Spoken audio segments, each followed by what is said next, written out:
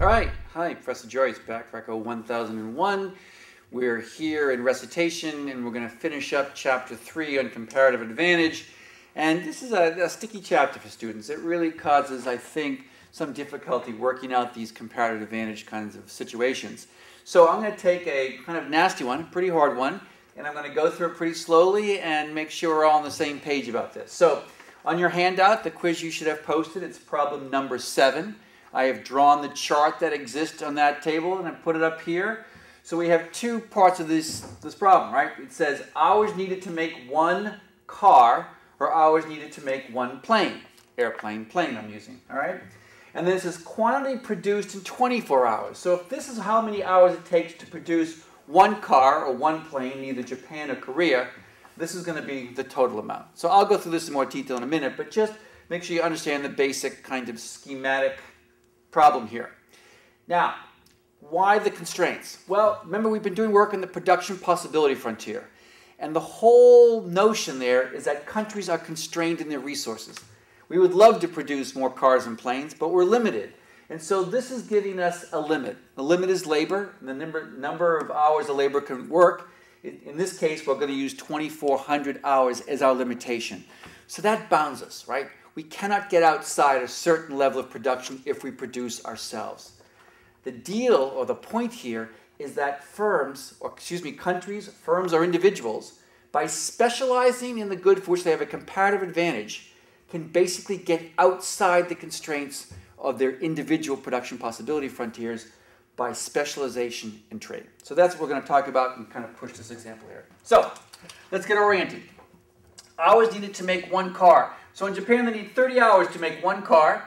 If you have 24 hours in total, how many cars can you make? Well, you'll take the 24 hours that's available to all, if you put all your time to cars, you divide by the 30 hours necessary to make one car, 2400 divided by 30 gives me the 80 cars. So if Japan wants to, they can devote all their labor to producing cars and they can make 80 cars. How about Korea? Korea takes them 50 hours to produce a car. All right? Again, they also only have 2,400 hours available to the entire country. So in this particular case, you would take the 2,400 divided by 50 hours per car, and that's how we get 48 cars. In other words, if, if Koreans devoted all their labor to the production of cars, taking 50 hours per car, 24 hours in total available, they could get 48 cars. 24 divided by 50. Do the exact same thing for planes. All right, it takes 150 hours to make a plane in Japan. It takes 150 hours to make a plane in Korea as well. So, if we take all 2,400 hours and we devote it to making planes at 150 hours per plane, we see that Japan can produce 16 planes. Korea has the same kind of productivity in plane production as does Japan. If they devote all 2,400 hours to the production of planes, at 150 hours per plane, they also can get 16 planes. So often, this would be our production possibility frontier. We'd have a graph, we'd have Japan and Korea, and I'll draw one for you right now, just quickly. It would look something like this, right? We've done this in class. If this is Japan, their production possibility frontier would look like this. We'd have 80 cars here, and we'd have something like 16 planes here. So planes and cars and that would be Japan's production possibility frontier. That's what it would look like. Korea's would look more modest. It would have 48 right here as the amount, but then it would also go right down to here. In other words, if Korea devoted no time to the production of planes and all its labor to cars, it could produce 48. If Japan devoted all its labor to cars, it could produce 80. If both countries reversed and, and devoted all their labor to the production of planes, they could both get 16. Again, 2,400 divided by 150 gives you the 16. So this is the basic setup of the problem. And I can ask you one other question that's not on this problem here, but just in general, which country has an absolute advantage in the production of either good? Well, absolute advantage means that the, this country can produce that particular good with less resources. Our resource here is labor. Japan clearly has an absolute advantage in the production of cars relative to Korea. They are equally productive in the production of planes because it takes them both 150 hours to produce a plane. So then the question becomes, well, does either country have a comparative advantage? And if so, are there any gains to be obtained here from trading with each other and specializing? Let's see. All right. So what I want to know is assume that Japan and Korea each has 2,400 hours available. Originally, each country divided its time equally between the production of cars and planes. Now, each country spends all its time producing the good which has a comparative advantage. As a result, the total output of cars increases. That's a tough problem. First thing we have to do is find out in which good the countries have comparative advantages. So, I've always said you do this.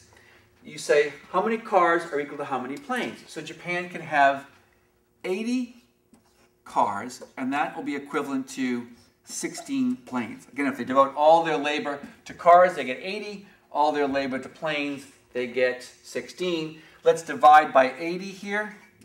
Divide by 80.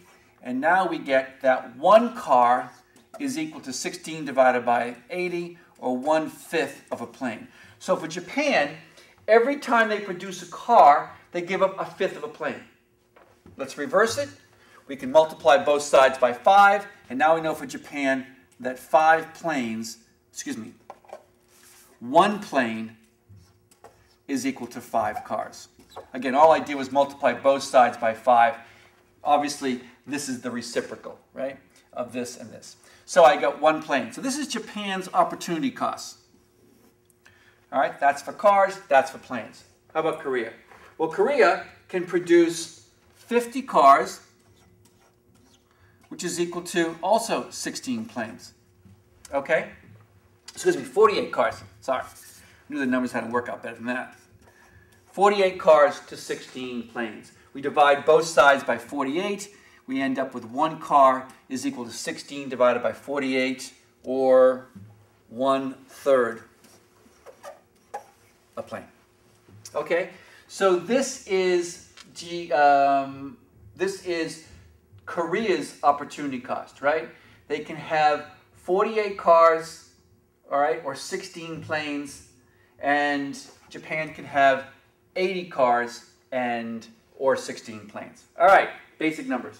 Now, what do we do with this? So what does it say?